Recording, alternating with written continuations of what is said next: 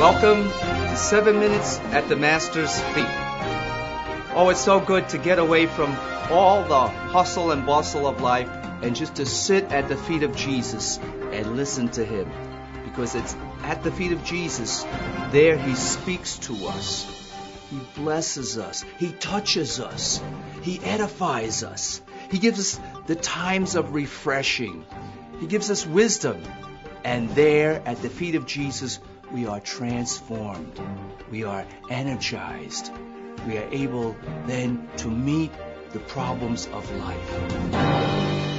Well, we're working on the series, How to Be Powerful in God. And in the last chapter, we uh, discussed, well, the topic in the last chapter was, Is the devil afraid of you? Hallelujah. So you can answer that yourself. You don't have to tell me what the answer is.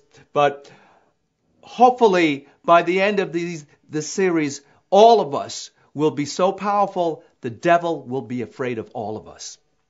Now, I want you to know that the devil is supposed to be afraid of us. When Jesus walked this earth, we see that when he showed up, the devil trembled. Go to Matthew 8 28, and we learn about a man called Legion. He was full of devils, and these devils were very fierce.